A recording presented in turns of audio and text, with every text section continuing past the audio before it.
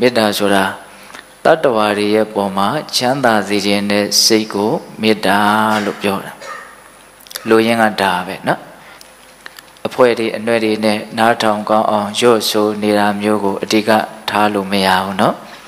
ကိုယ့်ရဲ့စိတ်ထဲကတကယ်လှိုက်လိုက်လဲလဲတတ္တဝါအားလုံးရဲ့ပုံမှာချမ်းသာစေခြင်းနဲ့စိတ်ထားတာ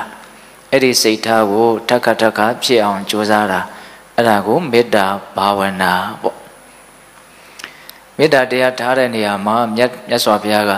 ကိုယ်နဲ့နှိုင်းစာပြီးတော့မေတ္တာတရားထားရမယ်လို့အဲ့ဒါလိုအခြေခံကြကြဟောတယ်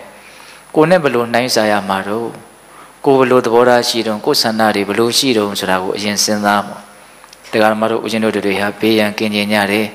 ကျမကြီးကောင်းကျင်ကြတယ်နှလုံးစိတ်ဝမ်းငြိမ်းချမ်းကြတယ်အစအစရာရာကြမ်းကြမ်းမာမာချမ်းချမ်းသာသာအစဉ်ပြေပြေဘေးကင်းရန်ကင်းနေလိုထိုင်လိုကြတယ်ဒါတတ္တဝါတိုင်းရဲ့ ပင်မဆန္ဒကြီးပေါ့နော်အဲ့ဒါလိုပဲကို့မှာလည်းပဲအဲ့ဒါလိုလိုအင်ဆန္ဒတွေရှိတယ်ဆိုရင်တခြားသောတတ္တဝါတွေဟာလည်းပဲအဲ့ဒီလိုလိုအင်ဆန္ဒရှိကြတယ်ဆိုတာကိုနားလည်ရမယ်အဲ့ဒါလိုနားလည်ပြီးတော့ကိုယ်နဲ့နှိုင်းဆန်ပြီးတော့တတ္တဝါတွေလိုလားတောင်းတကြတယ်အဲ့ဒီကောင်းကျိုးနဲ့ချမ်းသာရကြပါစေလို့စိတ်ထဲကတတ္တဝါတွေရဲ့ပုံမှာတကယ်ကောင်းသားစေခြင်းနဲ့စိတ်ပေးရန်ကင်းစေခြင်းနဲ့စိတ်နော်ကျမ်းမာရေးကောင်းစေခြင်းနဲ့စိတ်နှလုံးစိတ်ဝမ်းငြိမ်းချမ်းစေခြင်းနဲ့စိတ် ဘာစိတ်ဆင်းရဲမှုကိုဆင်းရဲမှုမှမတွေ့စီလို့မကြုံစီလို့ဘူးဆိုတဲ့ဒီမုံမြတ်တဲ့စိတ်ထားလေးကိုမေတ္တာစိတ်ထားအဲ့ဒါကိုကိုကထက်ကထက်ကဖြစ်အောင်ကြိုးစားရမှာဟုတ်လားကြိုးစားလို့ရှိရင် तू ကကျွမ်းကျင်လာတဲ့အားရှိလာတဲ့အစုအပုံဖြစ်လာတဲ့မေတ္တာတရားကကိုယ်တန်တန်မှာဟုတ်လားအဲ့ဒီလိုမေတ္တာကိုကြိုးစားအထုတ်မယ်ဆိုလို့ရှိရင်ရရှိမဲ့အကျိုးကျေးဇူးကတရားဓမ္မတို့ဦးဇင်းတို့တွေအကုန်နားမလည်နိုင်ဘူး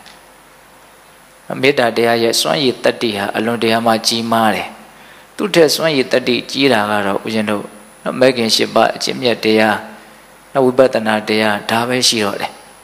ဒါကြောင့်မေတ္တာကိုမြတ်စွာဘုရားကအများကြီးအသုံးပြုဖို့နော်တိုက်တွန်းနှိုးဆော်တော်မူတယ်ဒါကြောင့်ပေသက်ပေါင်းသူတော်ကောင်းတို့ဦးဇင်းတို့တွေ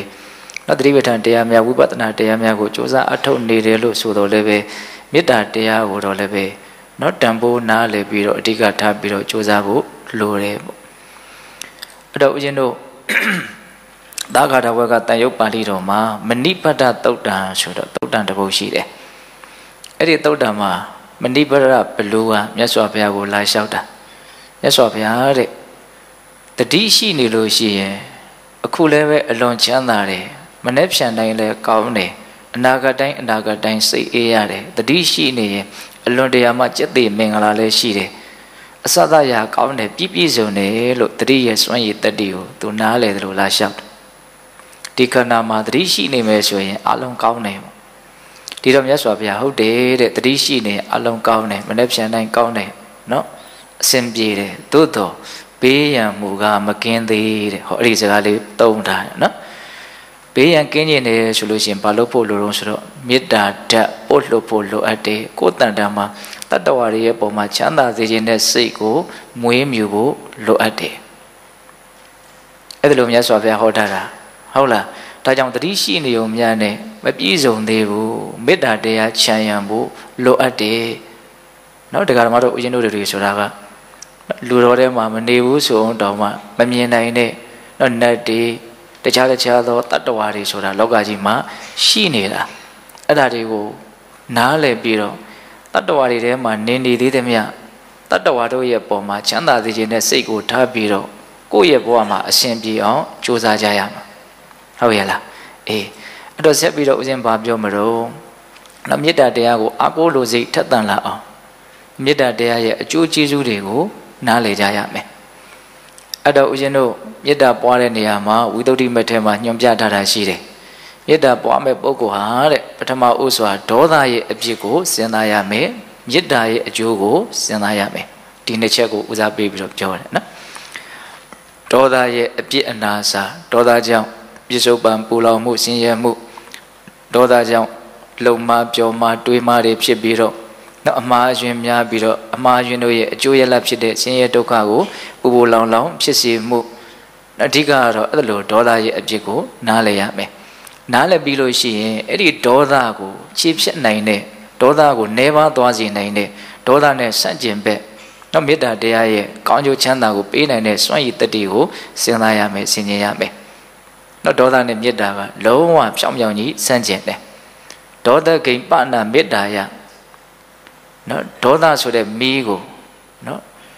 မေတ္တာဘာဝနာယမေတ္တာဘာဝနာဖြင့်နိဗ္ဗာန်ပင်တိငြိမ်းစေရမယ်လို့မြတ်စွာဘုရားဟောတယ်။အဲ့ တော့တရားဓမ္မတို့ဦးဇင်းတို့ရဲ့ဘဝမှာဒီဒေါသဆိုတာကဟိုအနေအထားအမျိုးမျိုးနဲ့ဖြစ်နေတာပေါ့။နော်စိတ်တိုင်းမကြစရာတွေမကျေနပ်စရာတွေတဘာဝမကြတဲ့ကိစ္စတွေအာယုန်တွေတွေ့လာတိုင်းတွေ့လာတိုင်းကြုံလာတိုင်းကြုံလာတိုင်းစိတ်ထဲမှာအစင်မပြေဘူး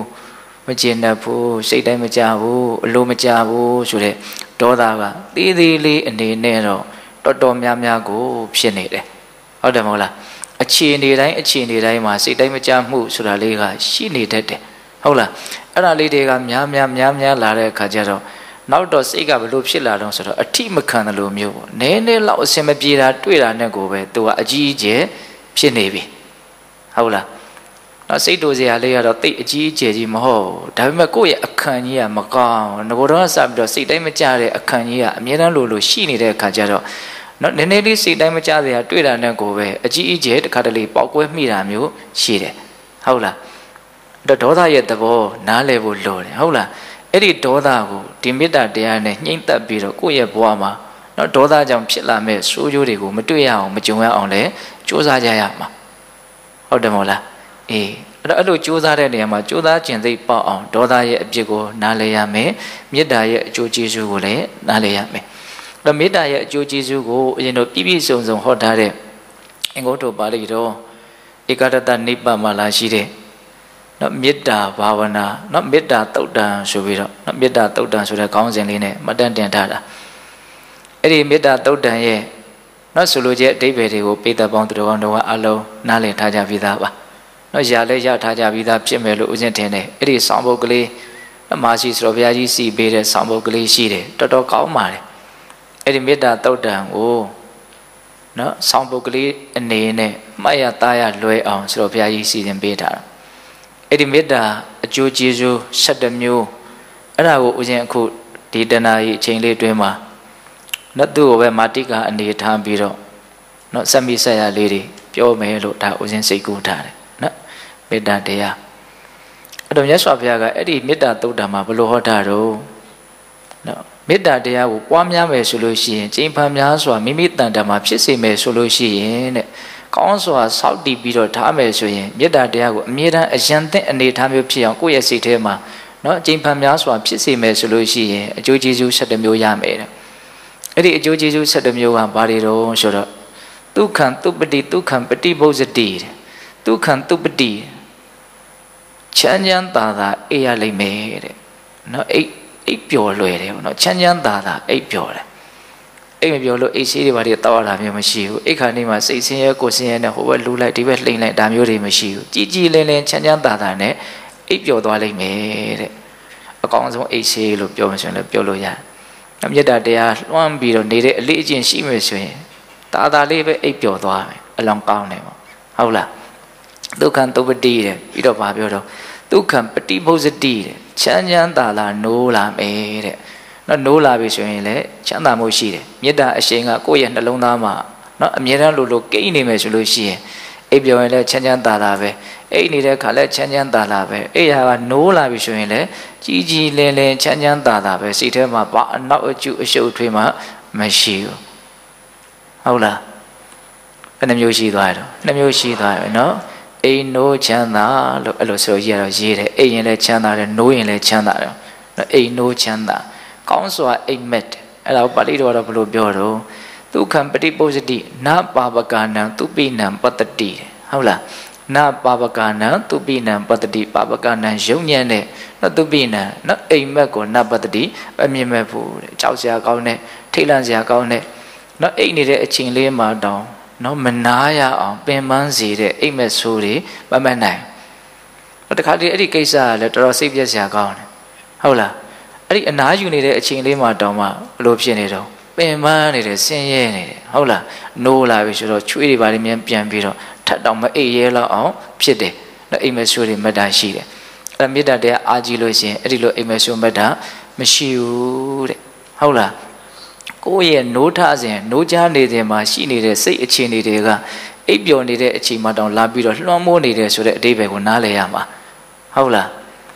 ဒီတိုင်းပဲလေအကြောင်းအကျိုးဆက်ဆက်ပြီးတော့သွားနေတာပဲအဲ့ဒီအိတ်တော့အိတ်ပြီးဆိုတော့မှဟဲ့ချမ်းချမ်းသာသာအိတ်အိမ်မဲဆိုးမမဲ့နဲ့ချမ်းချမ်းသာသာနိုးပါလားလို့အဲ့လိုလုပ်လို့ဘယ်ရမှာတော့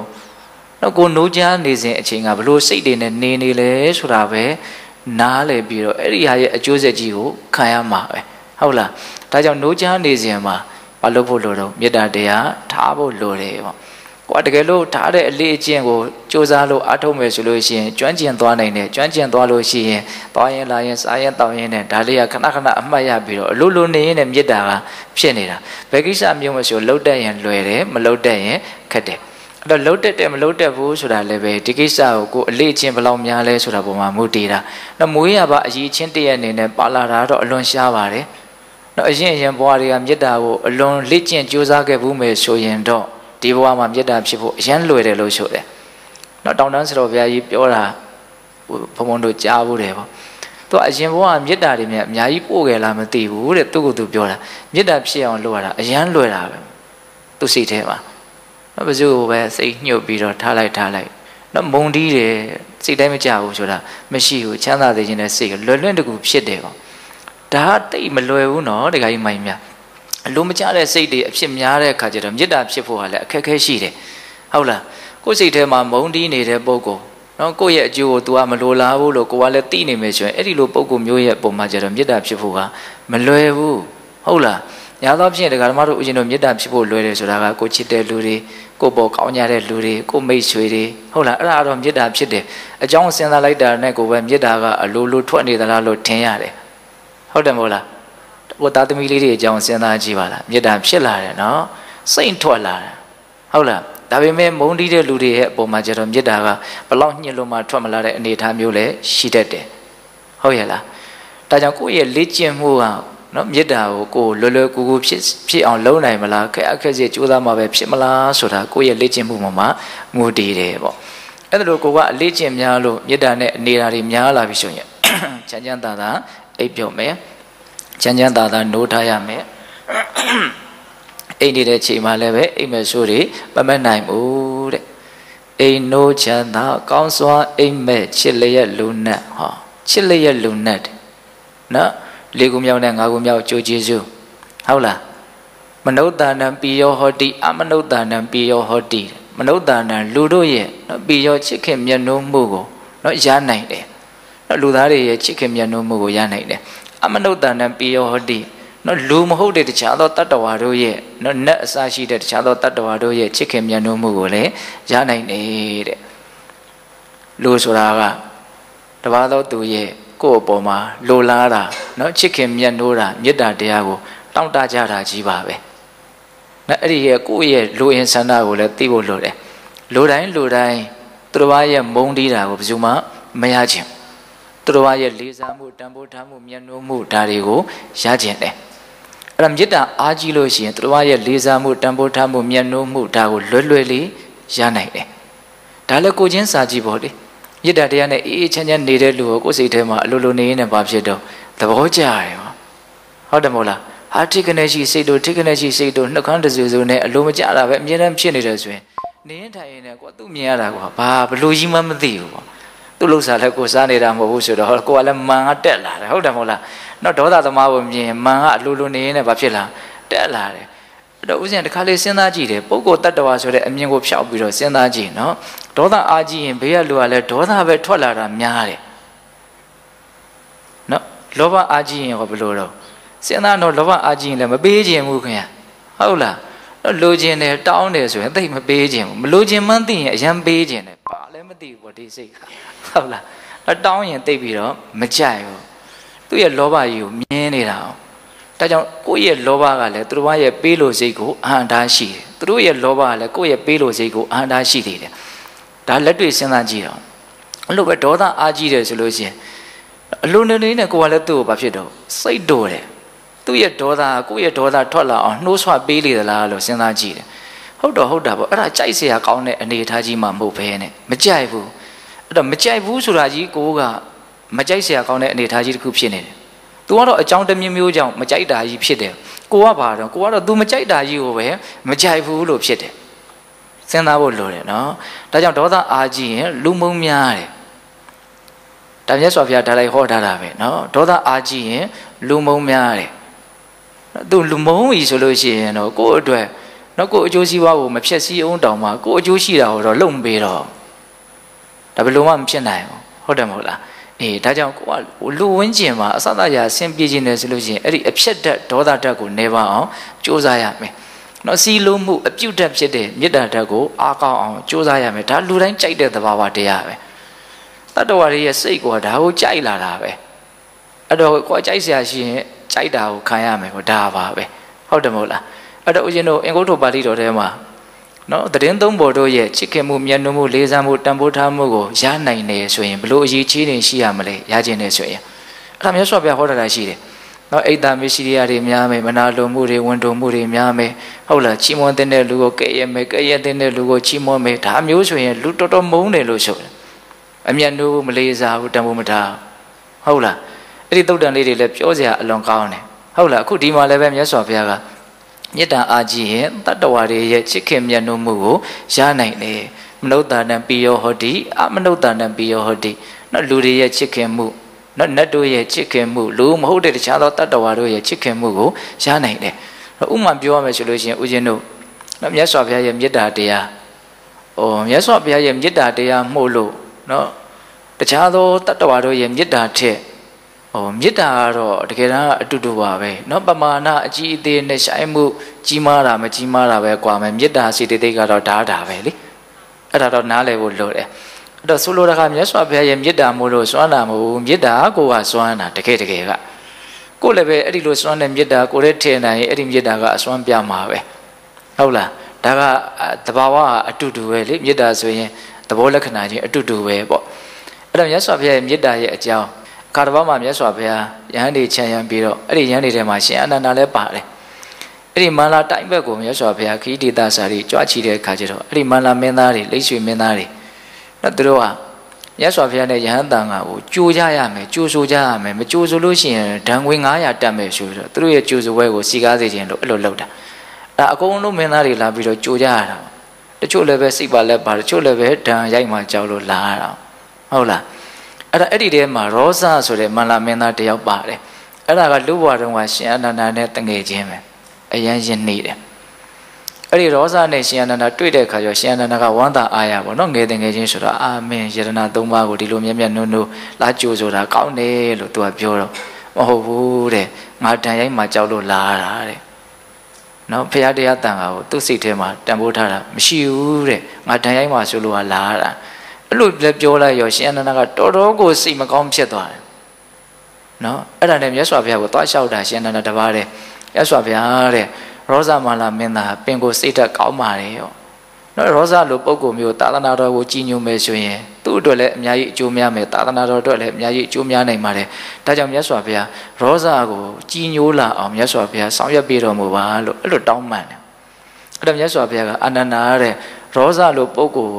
ဟိုဒီယတနာမြတ်သုံးပါးကိုကြည်ညိုလာဖို့အတွက်ငါမှဘာအခက်ခဲမှမရှိဘူးတဲ့ယုံကြည်မှုပြည့်နဲ့ပြောတာနော်မြတ်စွာဘုရားဟုတ်လားအဲ့ဒါဘာလို့တုံးဆိုတော့မြတ်စွာဘုရားမေတ္တာပို့တာတဲ့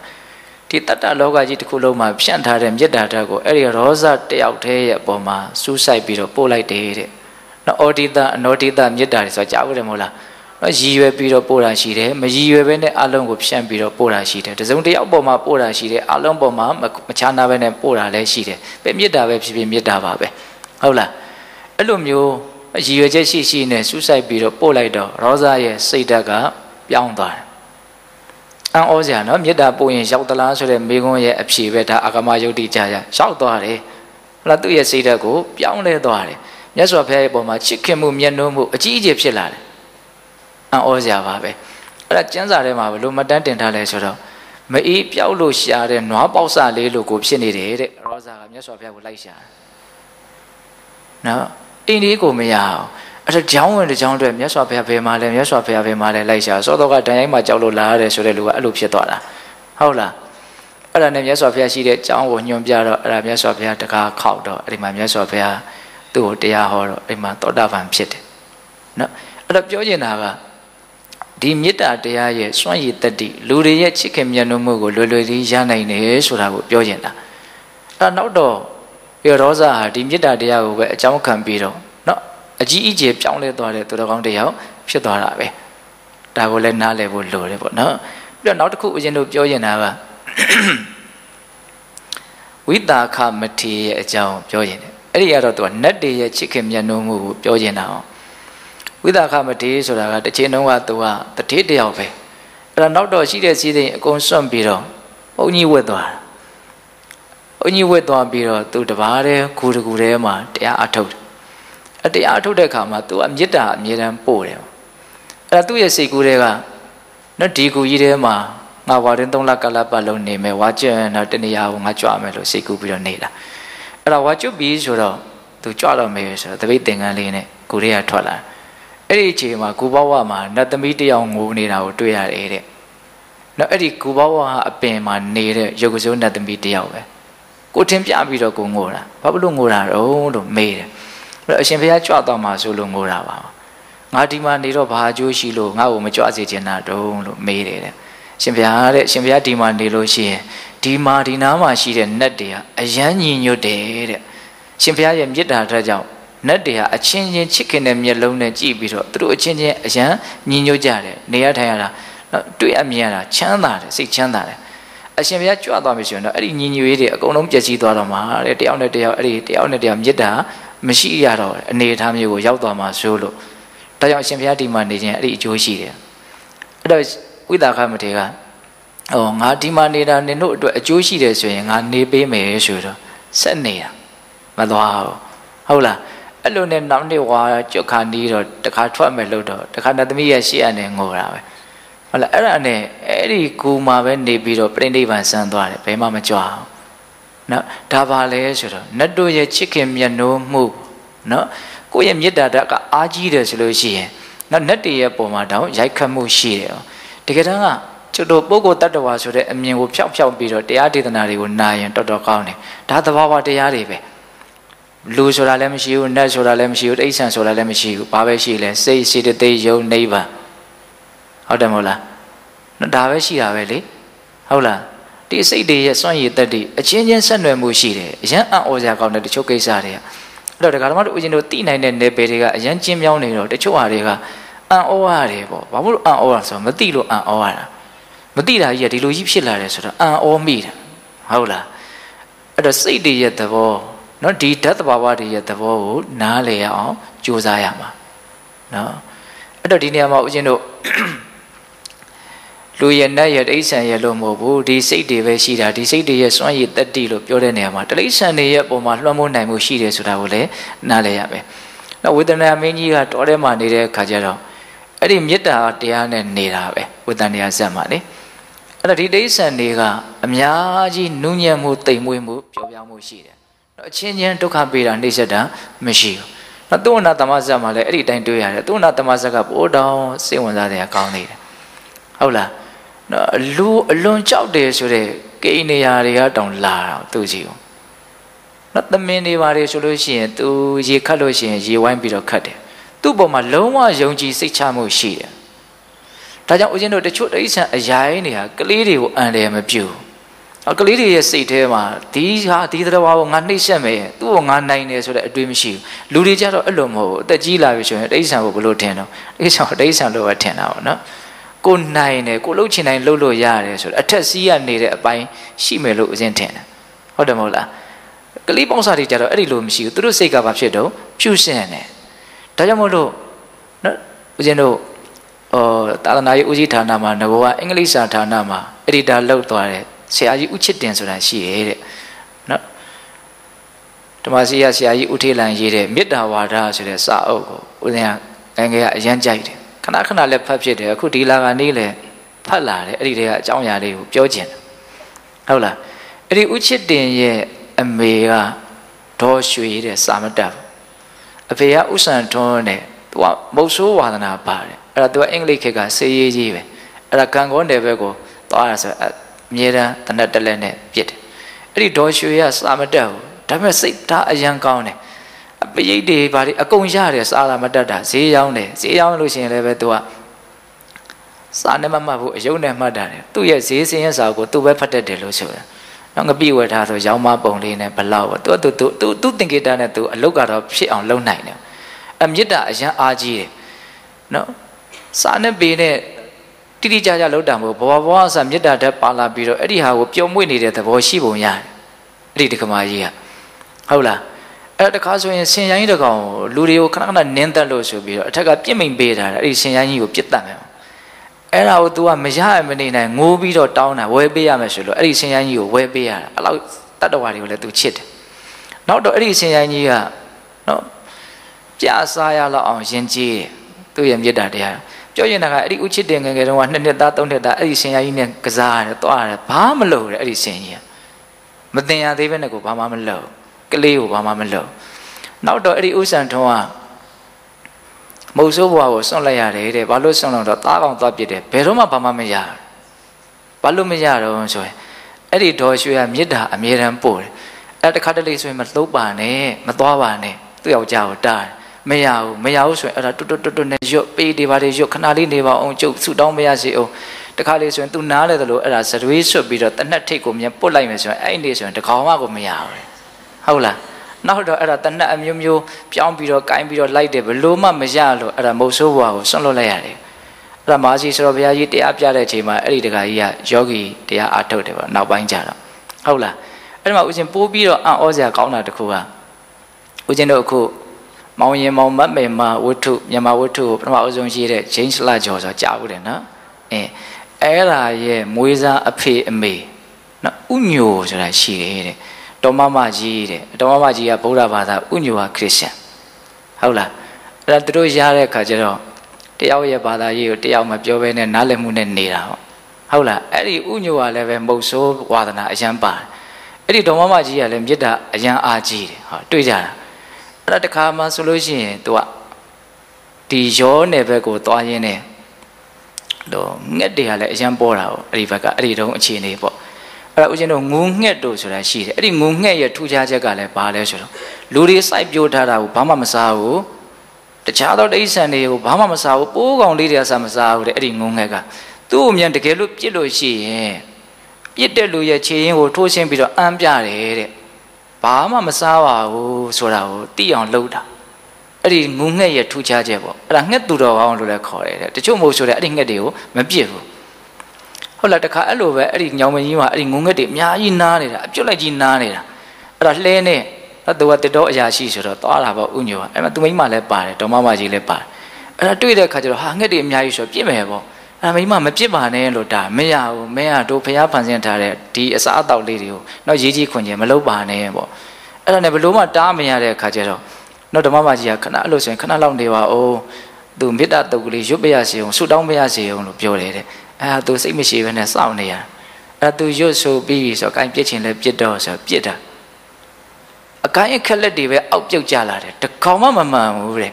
အဲ့ဒါ तू အမြင်ကြီးကပြစ်မှတ်ကိုမလွဲအောင် तू ပြစ်နိုင်နေတဲ့ချန်ပီယံတယောက်မဟုတ်ပေမဲ့လို့ तू အလွန်လက်တဲ့တယ်ပေါ့နော်တကောင်နဲ့ငလားနေတဲ့ငှက်ကိုပြစ်နိုင်တယ်ဒီမှာအုပ်လိုက်ကြီးရှိနေတာကို तू တကောင်မှအရန်အံ့ဩတယ်ပေါ့အော်မှာငမွေးတွေပါလေသွေးဆက်တွေပါလေမြန်ကြာနေလားရှောက်ရှာတယ်မပြန်တော့ဒဏ်ရာရဘာငမွေးလေးတောင်ကြာမလားသူစိတ်ထဲမှာအရန်အံ့ဩမိတယ်တဲ့အော်ဗုဒ္ဓဘာသာရဲ့တရားလည်းစွမ်းသားပဲလို့ तू အဲ့လိုအောက်မိတယ်တဲ့အဲ့ဒါ तू ဗုဒ္ဓဘာသာဖြစ်မပြောင်းသေးဘူးနောက်ဆုံးတော့ဗုဒ္ဓဘာသာဖြစ် तू ပြောင်းတယ် အဲ့လိုပြောင်းလို့ဆိုအဲ့ဒီဒကမာကြီးကြောင့်ပဲပြောင်းရတာသူမှထူးခြားတာတွေစမ်းကြတာတွေအများကြီးတွေ့ရတယ်ဒါတခါဆိုလို့ရှိရင်တော်တော်ထူးဆန်းနေတဲ့အားလုံးဆိုဦးဇင်းတို့မောက်တင်ငှက်ဆိုတာရှိတယ်ဟင်းသာအမျိုးတွေပဲခေါင်းမှာအမောက်ပါတယ်ဒီမှာအောက်ကဘူးကြီးနဲ့အရန်လှတဲ့ငှက်မျိုးတော်တော်လေးကြီးတယ်လို့ပြောတယ်နော်ဘဲလို့လို့ဘာလို့လို့ငှက်ငှက်အကြီးကြီးတွေပေါ့အဲ့ဒီငှက်တွေကအရန်သစ္စာရှိတယ် တကောင်ကိုပြစ်တက်လို့သေလို့ရှိရင်တကောင်ကအမြင်ကြီးကိုပြန်ပြီးတော့အတောင်ကိုရှက်ပြီးတော့တခါတည်းထိုးချပြီးတော့သေပြစ်တယ်လို့ပြောတယ်ဒါတကယ်ဖြစ်တာလို့ပြောတယ်အဲ့ဒါတခါတော့သူ့ရဲ့တပည့်တယောက်ကအဲ့ဒီကန်ထဲမှာသွားနေတဲ့အကောင်သုံးကောင်တည်းကတကောင်လှမ်းပစ်တယ်လှမ်းပစ်တဲ့အခါကျတော့မှန်ရောမှန်တော့ကြံတဲ့နှစ်ကောင်ကပြန်မသွားဘူးတဲ့အဲ့ဒီအမှန်လို့ခြေထဲမှာလဲနေတဲ့အကောင်ဝိုင်းပြီးတော့ထူကြတယ်နှုတ်သီးနဲ့ဝိုင်းထူဒီကပြစ်မယ်ဆိုတာသိရနော်အဲ့ဒါကိုဒီတခါကြီးကဥညိုကမြင်တော့သူ့တပည့်ကို လှမ်းပြီးတော့ပြောတယ်လုံးဝမပြစ်နဲ့ပေါ့သူအံ့ဩတယ်ပေါ့အဲ့ဒါအဲ့ဒီအကောင်ကသေသွားတာတေးတော့အဲ့ဒီအကောင်ကိုယူလာတဲ့အခါကျတော့အဲ့ဒီခုနဝိုင်းထူတဲ့နှစ်ကောင်ကအပေါ်ကနေလိုက်လာတယ်တဲ့အိမ်ထိလိုက်လာတယ်။အော်ပြီးတော့လိုက်လာတယ်အဲ့တော့သူစဉ်းစားတယ်တဲ့အော်ဒီငှက်တွေကအရန်နော်စိတ်ဓာတ်တွေကမြင်မာလှကြီးလာပါတချို့လူတွေမှာတောင်မရှိတဲ့စိတ်ဓာတ်မျိုးသူတို့မှရှိတယ်အောင်သူစိတ်ထဲမှာအရန်ထိခိုက်တယ်ဟိုသူအဲ့ဒီရောနယ်ဘက်မှာသွားရင်တခါမှအဖြစ်ပြက်တစ်ခုရှိတယ်တဲ့ မိမတယောက်ညကိုအောက်ကိုဆင်းတဲ့အခါကြားကဆွဲသွားတယ်ကြားဆွဲသွားတဲ့အခါကျတော့ကြားကမသိမရှင်ကျောင်းကကြွက်ကိုကစားတယ်လို့ကစားတာအဲ့သူကလှမ်းអော်တယ်တောဇက်ကနေပြီးတော့အိမ်နဲ့မနီးမိုးမှာနော်ဆွဲသွားတာကိုအကျမမသေးသေးပါဘူးလာကဲလဲပါလို့អော်တာအိမ်ပေါ်မှာရှိတဲ့ယောက်ျားကြောက်လို့ပုံနေတယ်တဲ့သွားမကယ်ဘူးဘယ်သူမှလည်းအကြောင်းမကြောက်ဒီလိုနဲ့အဲ့ဒီမိန်းမတော်တဲ့ပါတော့ကြားစားခံရတယ်ဒါကိုသူစဉ်းစားမိတယ်ပေါ့တချို့လူတွေမလုံနိုင်တဲ့နော်ကိစ္စမျိုး ဒီမှာရန်သူရှိတယ်ဆိုတာ तू သိတယ်ပြစ်တယ်လို့ဒီတကောင်သေးသွားဆိုအကျဉ်းနှစ်ကောင်လိုက်လာတယ်အဲ့ဒီနေရာစပြီးတော့ तू ငှက်တယ်မပြစ်တော့သူသူ तू ပြောင်းသွားတာပါအဲ့တော့နောက်ကြတော့ तू ဗုဒ္ဓဘာသာဖြစ်လာတဲ့အခါကျတော့ तू ဇက်စာတွေဘာတွေဖတ်တယ်ပေါ့နော်ဦးဇင်းတို့ဇက်တော်တစ်ခုရှိတယ်နော်ဟင်သာမင်းဇက်တွေရှိတာ哦သူမုခါတို့စစ်သူကြီးနော်ရှင်အနန္ဒာရဲ့အကြောင်းအဲ့လိုပဲထောင်ချောင်းမိတဲ့အခါကျတော့ ဘယ်မှမသွားဘူးအာနန္ဒာကအဲ့ဒီနာမှာအာနန္ဒာလောင်းဟင်းတာကအဲ့ဒီနာမှာပဲနေတယ်ရဲဝရဲရဲဝံ့ဝံ့နေတယ်ဟာအဲ့ဒီမှာမုတ်ဆိုးကလည်းပဲဒီငှက်တွေရဲ့အပြုအမူကြည့်ပြီးတော့အဲ့ဒီဇက်တော်ထဲမှာမေတ္တာအယမ်းဖြစ်လာတဲ့အခါကျတော့ဘာလို့တုံဆိုတော့အဲ့ဒီငှက်ရဲ့နော်ခြေတော့မှာမိလို့ယုံတာလို့အရေးတွေပြက်နေတာရှိတယ်အဲ့ဒါကိုလက်နဲ့ဆုပ်ပေးတယ်တယူတရအသားအတိုင်းပြန်ဆက်သွားတယ်လို့ဆိုတယ်အံ့ဩစရာပါနော်ဒါကဦးဇင်းတို့ နော်စာထဲမှာပါတဲ့အကြောင်းအရာဘုရားဟောထားတဲ့အကြောင်းအရာပါပဲအဲ့တော့ပြောချင်တာကဘာလဲမေတ္တာမေတ္တာပဲနော်ဒိဋ္ဌာရဲ့မေတ္တာပဲဖြစ်ဖြစ်လူတွေရဲ့မေတ္တာပဲဖြစ်ဖြစ်ဘသူရဲ့မေတ္တာပဲဖြစ်ဖြစ်မေတ္တာမေတ္တာပဲသို့တော့ကိုကစနစ်တကျတာကိုအားရှိလာအောင်လေ့ကျင့်မယ်ပြုစုပြုထောင်မယ်ဆိုတော့အများကြီးပို့ပြီးတော့အစွမ်းထက်လာမယ်နော်။ကစင်ကရပုံတယ်ကြောလှုပ်ထားတာနဲ့စနစ်တကျအပီအပြင်လှုပ်ထားတာကတော့မတူနိုင်ဘူး။ ဟုတ်ရဲ့လား။ဒါကြောင့်မေတ္တာကိုအများကြီးအားကိုးဖို့လိုတယ်ဆိုတာလေးကိုသဘောပေါက်စေချင်တာ။အခုမေတ္တာရဲ့အကျိုးကျေးဇူးတွေကိုဒါဘုံဘုံတို့ပြောနေတာဟုတ်လား။အေးဘယ်နှပါရှိသွားပြီတော့၄ပါးရှိသွားနော်။အိမ်နိုးချမ်းသာကောင်းစွာအိမ်မဲ့ချစ်လျက်လူနဲ့ဒီရောက်သွားပြီဟုတ်လား။အေးချစ်လျက်လူနဲ့ပြီးတော့ဘာလာတော့ဆိုတော့စောင်းလျက်နတ်များစောင့်လက်နှများနတ်တွေရဲ့စောင့်ရှောက်မှုကိုခံရတယ်။နော် မနုဿာနံပိယောဟတိအမနုဿာနံပိယောဟတိဒေဝတာနံရက္ခန္တိဟုတ်လားနတ်တွေရဲ့စောင့်ရှောက်မှုကိုခံရတယ်တဲ့။နတ်တွေရဲ့စောင့်ရှောက်မှုခံရတယ်ဆိုတာလည်းပဲဒါလိုလားအပ်တဲ့အကျိုးကျေးဇူးတစ်မျိုးပါ။နော်အဲ့ဒီဥစ္စာလည်းပဲဒါမေတ္တာရဲ့စွန့်ရည်တတိထဲမှာတခုထည့်ပြီးတော့ဒါမြတ်စွာဘုရားဟောပြထားတာ။တော့နတ်တွေစောင့်ရှောက်တယ်ဆိုတာနဲ့ပတ်သက်ပြီးတော့နော်ရှင်သူဗုဒ္ဓရဲ့အကြောင်းလေးဟာပြောစရာကောင်းတယ်လက်တွေ့အတွေ့အကြုံလေးတွေကို ထည့်သွင်းပြီးတော့ပြောရခြင်းကယုံကြည်မှုတတ္တတရားကိုပို့ပြီးတော့တိုးပွားစေတယ်မေတ္တာတရားဆွမ်းရည်တတ္တိဟုတ်လားမေတ္တာကဘလို့တွေဖြစ်တယ်ဆိုတာကိုပညာတစ်ခုအနေနဲ့တဲ့တဲ့သိဖို့ဆိုတာတော့မလွယ်ဘူးเนาะသဘောပေါက်လားမနက်ကတော့မှကြောင်းဆွမ်းလာကတ်တဲ့ဒကမတွေဒကာတွေကိုပြောလိုက်ရသေးတယ်တော့ဒီကုသိုလ်စေတနာလေးကကောင်းကျိုးချမ်းသာကိုဘလို့ဖြစ်စေပါတယ်ဆိုတာကိုဓာတ်ရိုက်ကြီးသိဖို့ကတော့မလွယ်ဘူး သိနိုင်ဖို့ဆိုတာမလွယ်ဘူးဒီကုသိုလ်စိတ်ကလေးဟာဒီလိုအကျိုးကိုပေးတယ်ဆိုတာကိုယ့်ရဲ့ဉာဏ်နဲ့သိဖို့ဆိုတာမလွယ်ဘူးဘာနဲ့တရားဓမ္မတို့အရင်တို့လက်ခံပြီးတော့လုံနေကြရတာလဲလို့မင်းယုံကြည်မှုနဲ့လုံကြရတာဘာနဲ့လုံရတော့ယုံကြည်မှုသို့တော့ဒီယုံကြည်မှုကအယံကာရောယုံကြည်တာတော့မဟုတ်ဘူးသူ့စိတ်ထဲမှာအကျိုးတဲ့အကြောင်းတဲ့စဉ်းစားပြီးတော့လက်ခံနိုင်လောက်တဲ့အနေအထားရှိလို့ယုံကြည်တာစကနဥမှာအဲ့ဒါနဲ့ပဲစရတာနော်အဲ့ဒီယုံကြည်မှုနဲ့စတော့မှသာလေနားလည်မှုဆိုတဲ့အဆင့်ကရောက်နိုင်တာ အစကနဦးဘာမှမလုပ်ရသေးပဲနဲ့နားလေတယ်ဆိုတာမဖြစ်နိုင်ဘူးအဲ့တော့နားလေမှုမရှိသေးပဲနဲ့ဟောယုံကြည်မှုမရှိပဲနဲ့လည်းပဲလုံမှာမဟုတ်ဘူးမလုံရင်လည်းနားလေမှာမဟုတ်အဲ့တော့ယုံကြည်မှုရှိမှလုံမယ်လုံမှနားလေမယ်အဲ့ဒီလိုသွားမှာအခုကဘာအတွက်ဦးဇင်းတို့ပြောနေအောင်ဆိုရင်ယုံကြည်မှုအတွက်ပြောနေတာပဲတော့ပေါက်တယ်မဟုတ်လားဒီယုံကြည်မှုကဘယ်ကိုရောက်မှာတော့နားလည်မှုစီကိုရောက်မှာတော့နားလည်မှုဒီရောက်ပြီဆိုရင်တော့ခိုင်မြဲမယ်ပေါ့ဟုတ်လားအေးအဲ့တော့ဦးဇင်းအခုပါဆက်ပြောမှာတော့ နော်နတ်တွေရဲ့စောင့်ရှောက်မှုကိုခံရတယ်ဆိုတာအဲ့ဒါမြတ်စွာဘုရားလက်ထက်ကနော်ရှင်သူဗုဒ္ဓဆိုတာရှိတယ်တဲ့ရှင်သူဗုဒ္ဓဆိုတာကဦးဇင်းတို့နာရဘိန်တထေးကြီးရဲ့ညီနော်နာရဘိန်တထေးကညီကိုနှစ်ယောက်ရှိတာအဲ့သူဗုဒ္ဓကသူ့ညီပဲအဲ့ဒါနောက်တော့သူရဟန်းပြုတ်သွားတာတထေးစီစဉ်ဆွတ်ပြီးတော့ပြုတ်တာနော်အဲ့ဒါရဟန်းဖြစ်သွားပြီဆိုတော့သူကဣတတက်နှစ်ထပ်ကွန်းတောင်ရတယ်အဲ့ဒီရှင်သူဗုဒ္ဓကပထမဣတတက်ကဘာလဲဆိုတော့မေတ္တာဣတတက် မေတ္တာအရာမှာအသာဆုံးပေါ့ပဘာဘာလို့ရလဲဆိုတော့သူအမြဲတမ်းမေတ္တာပွားပြီးတော့နေတယ်စွန့်ခံပြီးဆိုလို့ရှိရင်မေတ္တာပို့ပြီးတော့မှပဲသူစွန့်ခံတယ်သူပို့တဲ့မေတ္တာကလည်းပဲဒုက္ခိတာဟောတာဒုက္ခမုံစထားတယ်ဒီစကားလုံးလေးကြားဦးတယ်မဟုတ်လားကြောင့်နော်ဒုက္ခိတာဟောတာဒုက္ခမုံစထားဒုက္ခိတာဟောတာချမ်းသာပါစေဒုက္ခမုံစထားဆင်းရဲကလွတ်ပါစေဒါကအနှစ်ချုပ်ပဲလေဟုတ်လား အဲ့ဒီလိုမေတ္တာပို့တဲ့အခါကျတော့ဒီမေတ္တာရဲ့စွန့်ရည်တက်တီကိုဒီတရားတော်မကသိတယ်သိတဲ့အခါကျတော့သူတို့ရဲ့စိတ်ထဲမှာလည်းပဲပို့ပြီးတော့ကြည်နူးရတယ်နှစ်သက်ရတယ်အဲ့ဒီလိုမေတ္တာအားကြီးတဲ့ပုဂ္ဂိုလ်ကိုလှူရတန်းရတဲ့ဒါနာကောင်းမှုကလည်းပို့ပြီးတော့အကျိုးကျေးဇူးများတယ်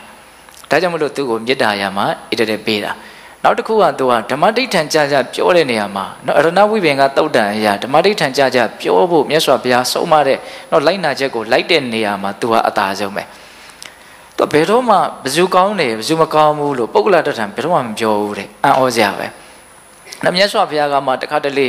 နော်ဘယ်သူကမကောင်းဘူးဘယ်သူကကောင်းတယ်လို့ပြောတာရှိသေးတယ်တဲ့အဲ့ဒီရှင်သူဗုဒ္ဓကအဲ့လိုမျိုးမပြောဘူးနော်ကောင်းတယ်ဆိုတာဘာလဲကောင်းတယ်ဆိုတာကောင်းတဲ့စိတ်ပေါ့မကောင်းတယ်ဆိုတာဘာလဲမကောင်းမှုဆိုတာမကောင်းတဲ့စိတ်ပေါ့ နော်မကောင်းတဲ့စိတ်တွေကမကောင်းဘူးကောင်းတဲ့စိတ်တွေကကောင်းတယ်နော်အပြုအမူအလုတ်အလုတ်ကိုပဲသူကပြောတာပုံကိုကိုမပြောဘူးဒါကတော်တော်အရေးပါတဲ့လိုက်နာစရာတစ်ခုလို့အရင်ထင်တယ်ဟုတ်လားပုဂ္ဂိုလ်လို့ထင်လို့ရှိရင်သူကချစ်ချင်းမုန်းချင်းဝင်လာတာဒါသတိထားဖို့လိုတယ်နော်လူတယောက်ကောင်းလိုက်တာဘယ်သူလေးကရမ်းကောင်းတာပဲဆိုရင်ရေသနီးတယ်နှစ်သက်တယ်ဆိုတာဖြစ်လာတယ်အာဘယ်သူကတော့အရန်ဆိုးတာပဲဆိုရင်မုန်းတီးတဲ့သဘောကဖြစ်လာတယ် အဲ့ဒီပုံကိုယ်တွေရဲ့အတွင်းတန်တာမှာဖြစ်နေတဲ့ပုံကိုယ်သဘောမဟုတ်တဲ့တဘာဝတရားရဲ့ကောင်းခြင်းဆိုးခြင်းကိုမြင်မယ်ဆိုရင်ကောင်းလို့လည်းပဲလောဘမဖြစ်ဘူးကိုကောင်းအောင်ကြိုးစားမယ်ဆိုတဲ့စိတ်တွေသာတွပွားလာတယ်မကောင်းလို့လည်းဒေါသမဖြစ်ဘူးကိုမကောင်းအောင်နေဖို့လိုတယ်ဆိုတာပဲစဉ်းစားမိတယ်နော်ပုဂ္ဂလဒိဋ္ဌံနော်ဓမ္မဒိဋ္ဌံနော်အလွန်အရေးပါတဲ့ဒီသိစရာလေးတွေကိုနားလည်ဖို့လိုတယ်အဲ့ဒါရှင်သူဝတီကအဲ့လိုမျိုးပုံကိုမျိုးပေါ့နော်အဲ့ဒါသူ့ကိုနတ်တွေစောင့်ရှောက်တယ်ဆိုတာနဲ့ပတ်သက်ပြီးတော့ထင်ရှားတာလေးတစ်ခုက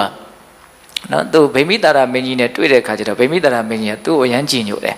ကြည်ညိုတဲ့အခါကျတော့အရှင်ဘုရားဒီမှာသတင်းသုံးပါတပည့်တော်အရှင်ဘုရားကိုအကြောင်းလေးဆောက်ပြီးတော့လှူရမယ်အောင်အဲ့လိုပြောထားပြီးတော့မင်းကြီးကအမှုကိစ္စများတဲ့အခါကျတော့မေးလျော့နေတယ်ကြောင်းကဆောက်မပေးရအောင်အဲ့ဒီတော့ဟောလွင်တီးခေါင်မှာပဲနေရတယ်တစ်ပင်အောက်မှာပဲနေရတယ်ကြောင်းမရှိဘူးဒါပေမဲ့ယဟန္တာပုဂ္ဂိုလ်ကြီးဆိုတော့ဆင်းရဲတယ်ဆိုတာပဲရှိမှာတော့ဟုတ်လားဒီတိုင်းပဲနေတယ်အဲ့တော့အကျိုးရလက်ကဘာဖြစ်လာလဲဆိုတော့မိုးမရွာဘူးတဲ့ နော်အဲ့ဒီဘရွာပိမိတာရမင်းကြီးရဲ့တိုင်းပြည်ရာချိုးမှာမိုးမရွာအမိုးမရွာတာမိုးကတစ်လားလည်းမရွာနှစ်လားလည်းမရွာဒီလိုမိုးမရွာတာကြာလာတဲ့အခါကျတော့တိုင်းသူပြည်သားတွေကမင်းကြီးရဲ့နန်းရင်ပြင်သွားပြီးတော့ဆန္ဒပြကြတယ်တဲ့မိုးမရွာဘူးဒါဘင်းရင်ပေါ်မှာတာဝန်ရှိတယ်မိုးမရွာတာဘင်းရင်ပေါ်မှာတာဝန်ရှိတယ်ဟုတ်လားနော်သွားပြတယ်ဆန္ဒပြတယ်အဲ့တော့မင်းကြီးကအော်ခါတိုင်းဒီလိုမဖြစ်ပါဘူးပေါ့ လာဆန္ဒပြတဲ့လူကိုစိတ်မတူပါဘူးအင်းသူတို့ပြောတာဟုတ်ချင်ဟုတ်မှာငါပါများမှားနေလဲလို့ကိုကိုကိုပဲစီစစ်တယ်ဟုတ်လား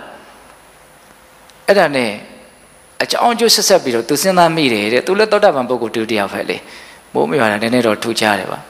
အဲ့ဒီကြတော့အော်ငါအမခံထားပြီးတော့ရှင်သူ့ဘူတီကိုကြောင်းဆောက်ပြီးတော့မလှူရဘူးနော်အဲ့ဒါကြောင့်မိုးမရွာတာနေမှာလို့သူအကြောင်းရင်းကိုသိတယ်တဲ့အဲ့ဒါနဲ့ကြောင်းသွားပြီးတော့ဆောက်ပေးရတယ် အကြီးခန်းခန်းနာနာကြီးအဲ့လိုမဟုတ်ပါဘူးသိရမိုးကြောင်းနောက်တပါးသာချင်းချမ်းသာသာလေးနေလို့ရယုံလေးပါပဲဟုတ်လားအဲ့လိုလိုကြောင်းလေးဆောက်ပြလိုက်တော့ရှင်သူဗုဒ္ဓကအဲ့ဒီကြောင်းလေးတွေဝင်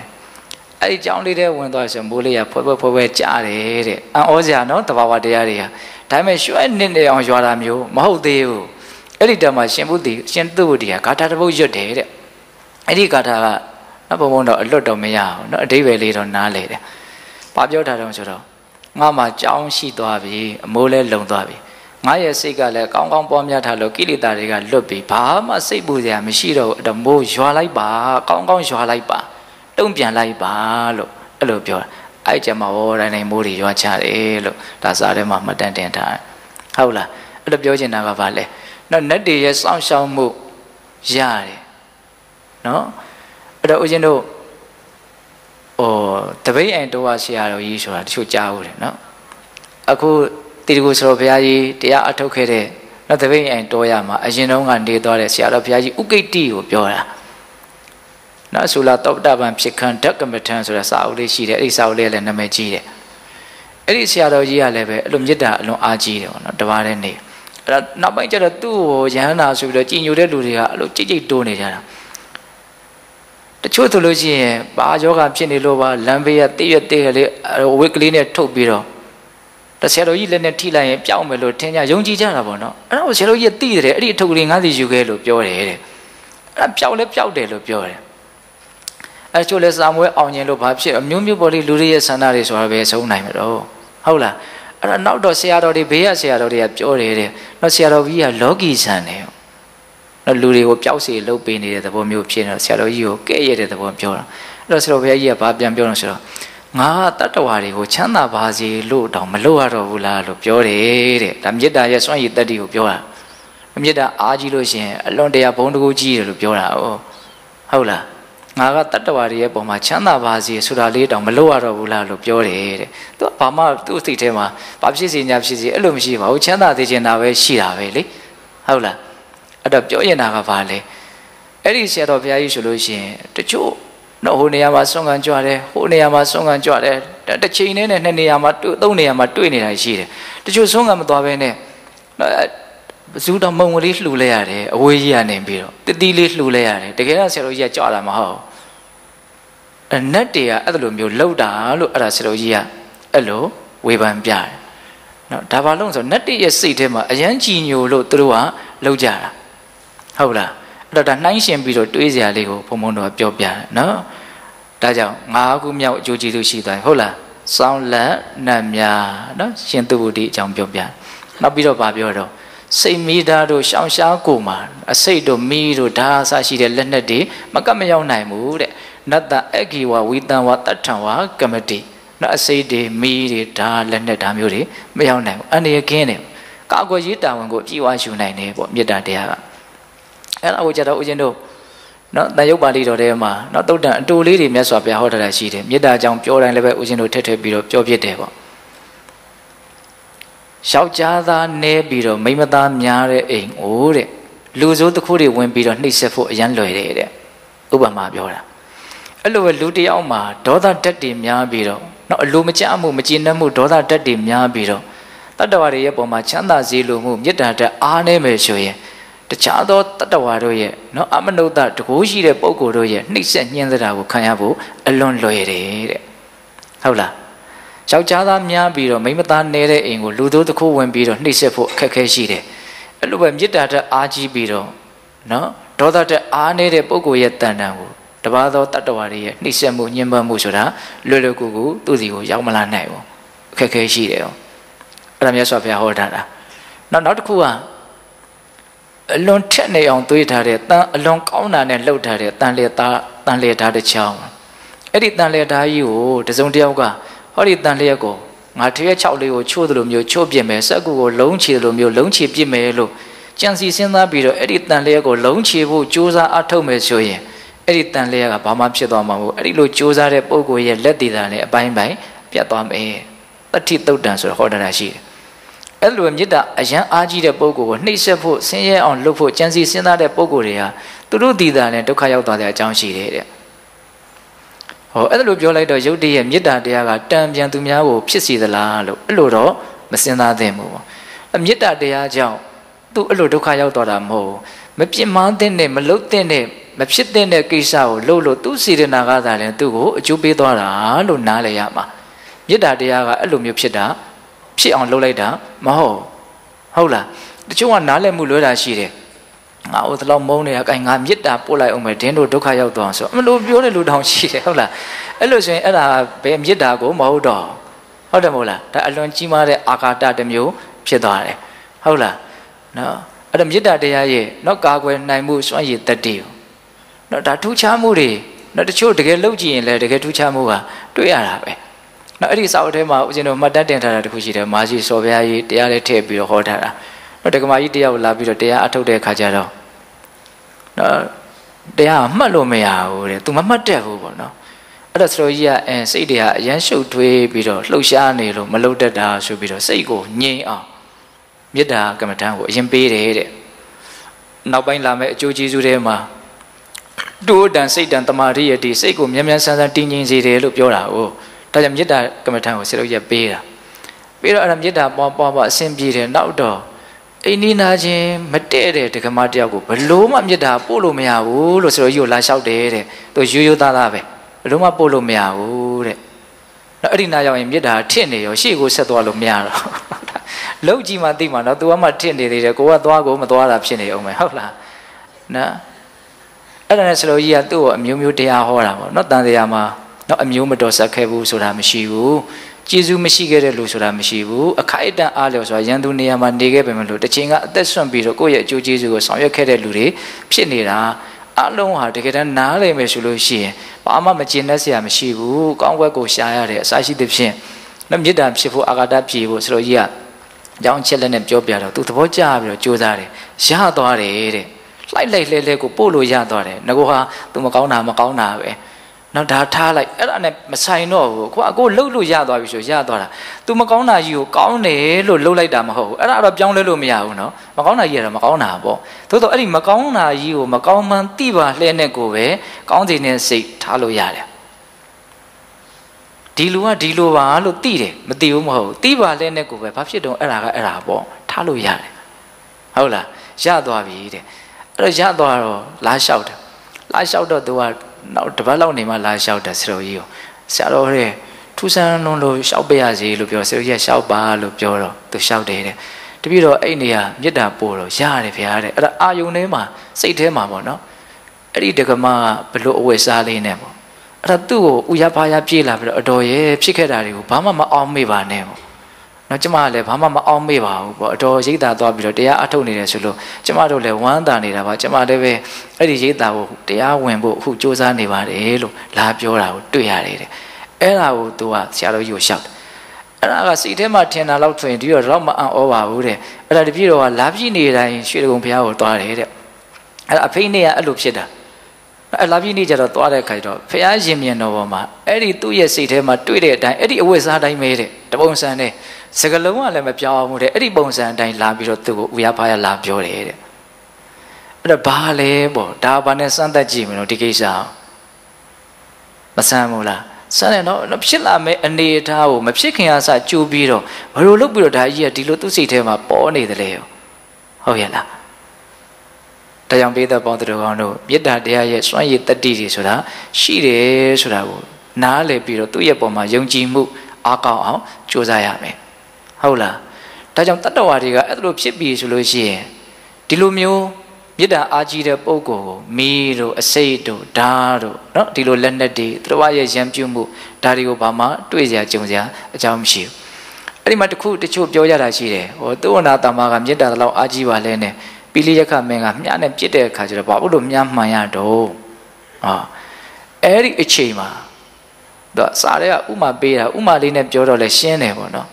လူတယောက်တန်ကြက်ကအင်ကြီးဝတ်ထားတယ်ပေါ့ဘာနဲ့ပြစ်လို့မှမရအောင်သို့တော့တန်ကြက်ကအင်ကြီးကိုချွတ်ပြီးတော့တစ်ပင်မှာချိတ်ထားလိုက်မယ်ဆိုရင်အဲ့ဒီအချိန်မှာဆိုတော့ပြစ်ရင်တော့မှန်မယ်ပေါ့အဲ့တော့အဲ့ဒီအချိန်မှာသူ့အနာတာမှာမေတ္တာလက်လွတ်ဖြစ်နေတယ်နော်ဒါကြောင့်မလို့သူများမှန်တယ်ဆိုတာကိုစားရဲကရှင်းပြတာ အဲ့တော့ဆိုလိုတာကမေတ္တာတက်ကလေးကနော်အမြဲမပြတ်နော်ရှိနေဖို့လိုတယ်အထူးသဖြင့်အန္တရာယ်ပါညာကြောက်ရောက်စရာအနေအထားမျိုးမှာလည်းစူးစမ်းပြီးတော့ထူထောင်နိုင်ဖို့လိုတယ်ပေါ့နော်ဒါကြောင့်အစိမ့်မိသားတွေမတွေ့ဘူးဆိုတော့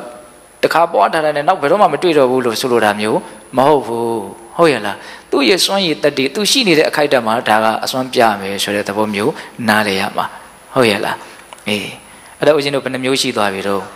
6မျိုးရှိသွားပြီနော်စိတ်မိသားတို့ရှောင်းရှားကိုမှာဟုတ်လားပြီးတော့ဦးဇင်းတို့ဗာပြောတော့ဆိုတော့လျင်စွာစိတ်တည်လျင်စွာစိတ်တည်ဆိုတာတိုးတန်စိတ်တန်တမာတိရတည်မေတ္တာတရားထားလိုက်မယ်ဆိုလို့ရှိရင်စိတ်ကမြဲမြဲဆန်းဆန်းငြိမ်သွားတယ်တဲ့များသောအားဖြင့်စိတ်ကကြောက်ရက်ခတ်နေတယ်ဆိုတာကအလိုမကျမှုနဲ့ကြောက်ရက်ခတ်ကြတာများတယ်ဟုတ်လားစိတ်တိုင်းမကျမှုနဲ့လှုပ်ခတ်ကြတာများတယ်ပေါ့အဲ့တော့မေတ္တာရှိသွားတယ်မေတ္တာဖြစ်သွားတယ်ဆိုလို့ရှိရင် အဲ့ဒီဒေါသကအလွန်ငြိမ်သွားတဲ့အတွက်ကြောင့်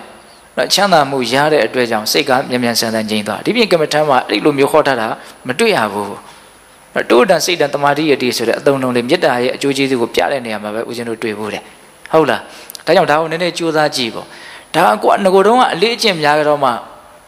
ကိုအာယုံပြုတ်ခြင်းတဲ့အချိန်မှာဇက်ခနဲ့အာယုံပြုတ်ပြီးတော့စိတ်ကဖြက်ခနဲ့ငြိမ်သွားတဲ့အနေအထားမျိုးကိုရနိုင်မှာစားတဲ့အစနည်းနည်းလေ့ကျင့်ထားဖို့တော့လိုတယ်နော်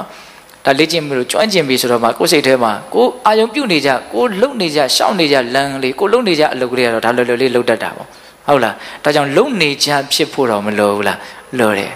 ဟုတ်လားအဲ့ဒါဆိုရင်တိုးတန်စိတ်တန်တမာတိယတိစိတ်ဟာမြန်မြန်ဆန်ဆန်တည်ငြိမ်မယ်တဲ့နော်